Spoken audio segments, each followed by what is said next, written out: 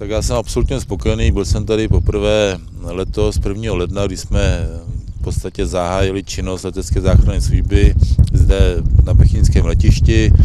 Lítalo se pouze za té přímé viditelnosti, v podstatě od soboty zahajujeme 24-hodinový provoz. Já jsem spokojený, protože je tady vytvořeno zázemí pro osádky, pro záchranné týmy, pro lékaře.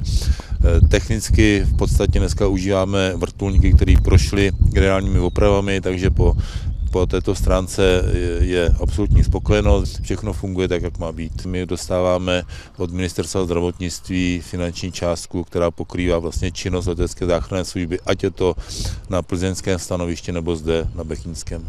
Tam se nejedná o to, jestli vítáme ve dne nebo v noci, tam se jedná o to, kolik nalítáme letových hodin. Letecká záchranná služba má obrovský význam pro armádu, protože tady dochází k tomu reálnému výcviku jak zachranářů, tak pilotů vrtulníků, tak především toho zdravotnického, zdravotnického personálu. My v současné době například máme zdravotní personál na kábulském letišti, měli jsme polní chirurgický tým v Iráku, takže zdravotnická služba bez patří do složek, prvků, které vyjíždí do zahraničních misí. Jsme začali 1. ledna v 7.20, slítali jsme odsvítání do Sumraku, eh, což samozřejmě postupně, jak se prodlužuje den, nám narůstala jakoby pracovní doba. Eh, od 1 sedmý od svítání zahajujeme nepřetržitý provoz. To znamená, že od té doby vlastně bude 24 hodin k dispozici vrtulník pro obyvatele jeho českého kraje.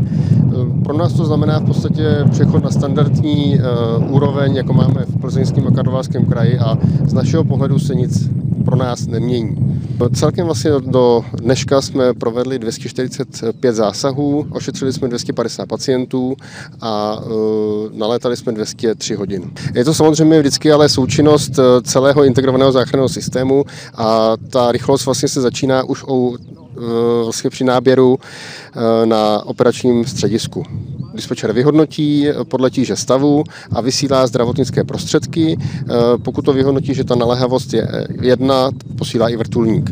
V tu chvíli vlastně my ošetřujeme na místě a potom eh, vezmeme pacienta do takzvané centrové péče, což jsou vlastně traumacentra, jsou to většinou v špitáli v krajských nemocnicích. Naším cílem je vlastně, aby ten zásah byl do hodiny.